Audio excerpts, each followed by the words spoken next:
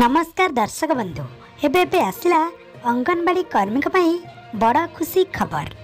ଆଉ ତା ସହିତ ମଧୁବାବୁ ପେନ୍ସନ୍ ଯୋଜନାର ବୃଦ୍ଧି ହେଲା ଭତ୍ତା ରାଶି। ଯାହାକି ଅଗଷ୍ଟ ପନ୍ଦର ତାରିଖରେ ମଧୁବାବୁ ପେନ୍ସନ୍ ଯୋଜନାର ନୂଆ ହିତାଧିକାରୀଙ୍କୁ ମିଳିବ ଭତ୍ତା ରାଶି। ଆଉ ଏହା ସହିତ ରାଜ୍ୟରେ କାର୍ଯ୍ୟରତ ଅଙ୍ଗନବାଡ଼ି କର୍ମୀ ଓ ଆଶା ଦିଦିଙ୍କ ଦରମା ବୃଦ୍ଧି ନେଇ ସରକାର ବିଚାର ମଧ୍ୟ କରିଥିବା ସୂଚନା ମଧ୍ୟ ଦେଇଛନ୍ତି ଫାଇଭ୍ ଟି ସଚିବ। ତେବେ କ'ଣ ଆସିଛି ନୂଆ ଅପଡେଟ୍ ଅଙ୍ଗନବାଡ଼ି କର୍ମୀଙ୍କ ପାଇଁ ଆସନ୍ତୁ ଏହି ଭିଡ଼ିଓରେ ଜାଣିବା।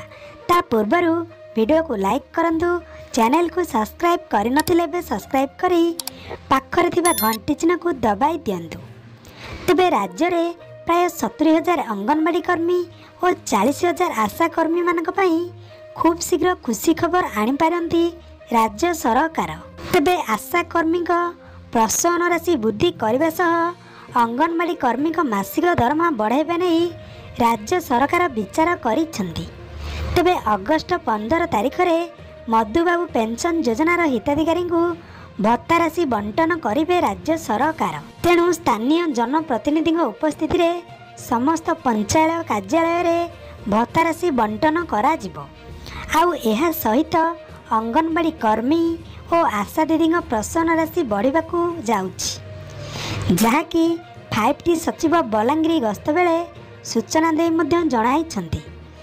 ଯାହାକି ଦୀର୍ଘ ଏକ ମାସରୁ ଉର୍ଦ୍ଧ୍ୱ ସମୟ ଧରି ବ୍ଲକରେ ଥିବା ସମନ୍ୱିତ ଶିଶୁ ବିକାଶ ଯୋଜନା କାର୍ଯ୍ୟାଳୟ ଗୁଡ଼ିକରେ ଆମରଣ ଅନଶନରେ ବସିଥିଲେ ଅଙ୍ଗନବାଡ଼ି କର୍ମୀମାନେ। ତେଣୁ ସରକାର ସେମାନଙ୍କୁ ପ୍ରତିଶ୍ରୁତି ଦେବାରୁ ସେମାନେ ଆନ୍ଦୋଳନକୁ ସ୍ଥଗିତ ରଖିଥିଲେ। ତେଣୁ ମଧୁବାବୁ ପେନ୍ସନ ଭତ୍ତା ଅଙ୍ଗନବାଡ଼ି କର୍ମୀ ଓ ଆଶା ଦିଦିଙ୍କ ପାଇଁ ଏହା ହେଉଛି ଗୋଟେ ଖୁସି ଖବର। ତେଣୁ ରାଜ୍ୟରେ ଆଶା ଆଉ ଅଙ୍ଗନବାଡ଼ି ଦିଦିଙ୍କ ପ୍ରସନ୍ନ ରାଶିକୁ ନେଇ ସରକାର ବିଚାର କରୁଥିବା ସୂଚନା ମିଳୁଛି। ତେଣୁ ଆଶା ଦିଦିଙ୍କ ପ୍ରସନ୍ନ ରାଶି ବୃଦ୍ଧି କରିବା ସହ ଅଙ୍ଗନବାଡ଼ି କର୍ମୀଙ୍କ ମାସିକ ଦରମା ବଢ଼ାଇବା ନେଇ ରାଜ୍ୟ ସରକାର ବିଚାର କରୁଛନ୍ତି। ଯାହାର ସଂକେତ ବଲାଙ୍ଗୀର ଗସ୍ତ ସମୟରେ ଫାଇଭ୍ ଟି ସଚିବ ସୂଚନା ଦେଇ ମଧ୍ୟ ଜଣାଇଛନ୍ତି। ତେବେ ଦର୍ଶକ ବନ୍ଧୁ ଏହିପରି ଲାଟେଷ୍ଟ ଅପଡ଼େଟ୍ର ଖବର ସର୍ବପ୍ରଥମେ ଜାଣିବା ପାଇଁ ଆପଣମାନେ ଆମ ଭିଡ଼ିଓକୁ ଲାଇକ୍ କରନ୍ତୁ ଚ୍ୟାନେଲକୁ ସବସ୍କ୍ରାଇବ୍ କରିନଥିଲେ ଏବେ ସବସ୍କ୍ରାଇବ୍ କରି ପାଖରେ ଥିବା ଘଣ୍ଟି ଚିହ୍ନକୁ ଦବାଇ ରଖନ୍ତୁ।